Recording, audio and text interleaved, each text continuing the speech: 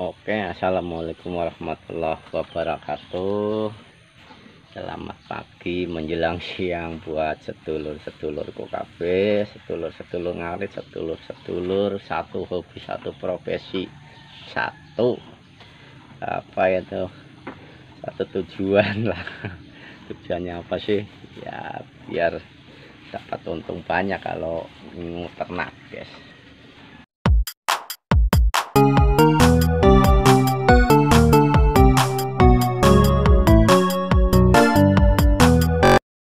Dalam uh, video kali ini. Kebetulan ini lagi di kandang sapi saya guys ya. Walaupun kandangnya sederhana yang penting bukan kandangnya tapi isinya guys. Sederhana pun kalau isinya sapi ya bisa menguntungkan guys oke guys atau sedulurku untuk video kali ini saya akan memberikan tips atau apa ya cara lah. Bagaimana untuk menghindari atau mencegah atau mengantisipasi lah. Bahasa kerennya itu mengantisipasi. Antisipasi kalau kalau zaman sekarang tuh lagi gencar-gencara yang namanya penyakit PMK mulut dan kuku kebetulan lagi semarak di mana-mana guys. Di daerah saya juga banyak lah. Tapi ya mudah-mudahan lah ternak-ternak kita sehat semua guys.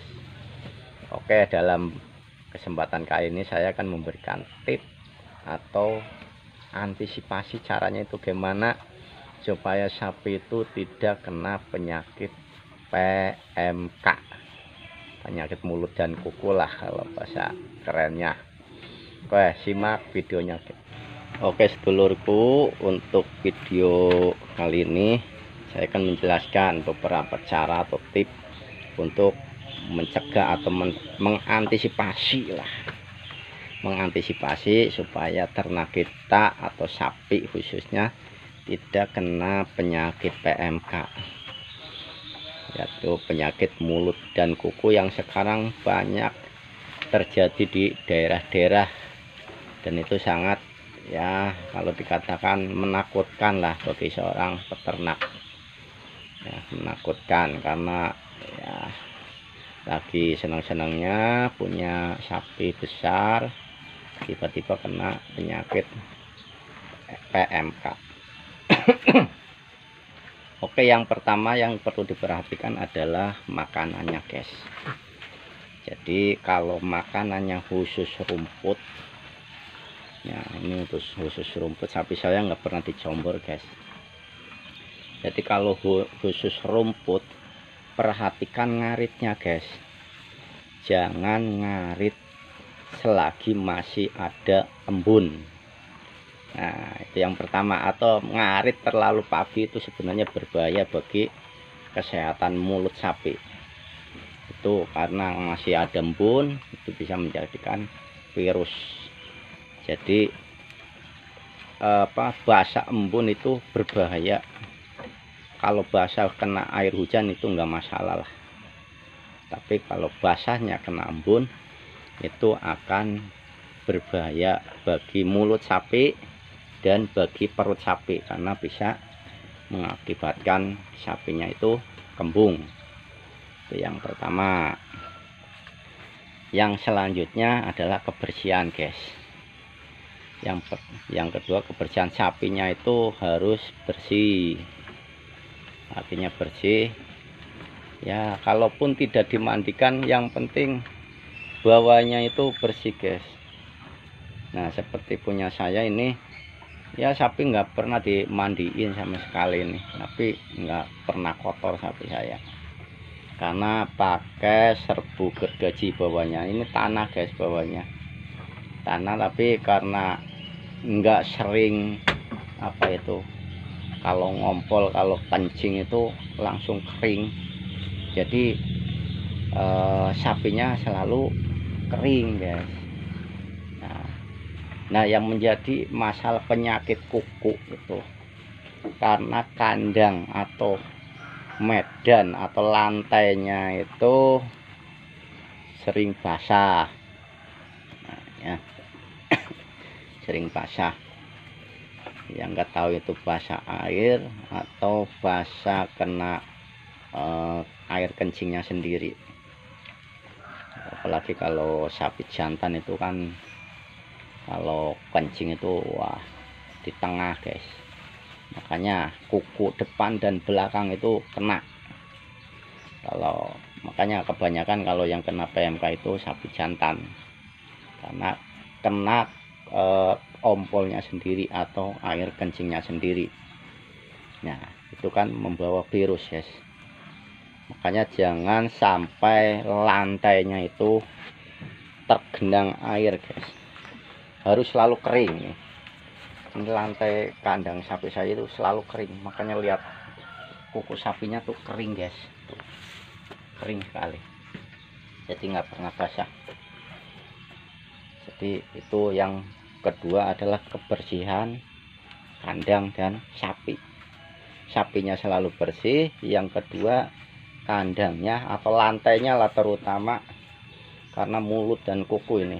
Berarti mulut itu disebabkan oleh karena embun kalau yang dikasih rumput khusus. Kalau yang kuku karena lantainya itu seling ngember. Apa saja itu ngember lah. Ngemplung banyu alias becek atau basah. Nah itu sangat berefek ke, ke kuku. Bagi kukunya bisa membusuk atau kena virus ya makanya usahakan kandang jangan sampai basah guys ya walaupun dimandikan harus dikeringkan guys. Ya sapi juga kalau tidur basah ya ya sehat juga. Makanya sapi harus lantainya selalu kering gitu. Manusia juga kalau tidur basah kan gak enak. Sapi juga sama lah namanya makhluk itu. Nah kalau yang dicombor guys ini kebanyakan yang dicombor itu kena. Jadi kalau nyombornya itu hati-hati guys. Ya hati-hati.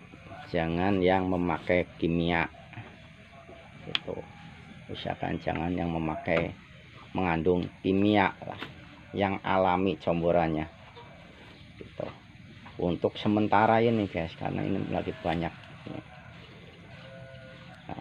nyombornya juga harus pakai jadwal jangan asal nyombor jangan masih terlalu pagi udah dicombor. Itu jangan. Nah, terus yang selanjutnya ini.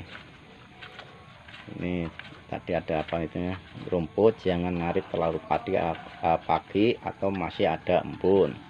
Kebersihan sapi eh, kebersihan kandang itu yang selanjutnya itu bikin pembakaran guys. Atau bediang itu di tempat.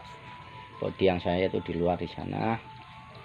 Jadi supaya ada kebul-kebul asap guys itu bisa untuk mengusir virus-virus atau membunuh virus-virus kalau diasapin.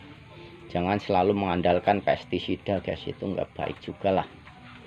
Mendingan pakai kebul-kebul sisa-sisa makanan dibakar itu bisa mengusir lalat mengusir nyamuk atau mengusir virus-virus ya. Terus sapinya juga menjadi hangat ya. Sapinya juga menjadi hangat nggak kedinginan. Itu yang perlu diperhatikan lagi. Oke guys. Mungkin hanya itu ya yang harus atau yang perlu diperhatikan ya yang penting jaga kebersihan. Nah, terus yang selanjutnya ini yang terpenting juga.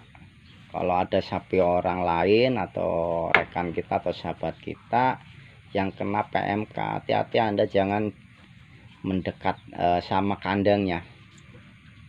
Ya sama kandang orang yang punya sapinya kena PMK berarti di sana ada vir virus jangan dekat-dekat guys. Nanti kalau virus kita terbawa oleh kita melalui pakaian melalui tangan melalui sendal misalnya lalu kita ke kandang kita itu bisa menular. Makanya kalau ada sapi yang kena PMK jangan mendekat-dekat guys. Itu bisa membawa virus ke kandang anda. Nah seperti ini lur bikin bediangan nih seperti ini nih. Tuh sapi yang berdeta juga. Senang ya anget. Lalatnya pada pergi nyamuknya pada pergi dan virusnya juga akan pergi. Ini kalau sering dikasih pembakaran seperti ini. Jadi manfaatnya banyak guys. Ini tinggal di lagi oke seperti inilah contohnya. Ini jadi virus-virus pada pergi guys. Nggak harus pakai semprot pestisida baik sedulur semua dan sahabat-sahabat semua. Ini waktunya sudah panas ya sudah siang. Ini mau mangkat ngarit. Jadi terima kasih ikuti terus video saya lur. Ikuti terus. Jangan lupa share like dan komen dan subscribe. Dan jangan lupa juga tekan tombol loncengnya karena itu gratis. Karena itu sangat berguna dan bermanfaat bagi saya itu. Terima kasih buat sedulur semua. Jangan pernah menyerah. Berjuang terus. Terima kasih. Salam ngarit salam satu profesi Assalamualaikum warahmatullahi wabarakatuh.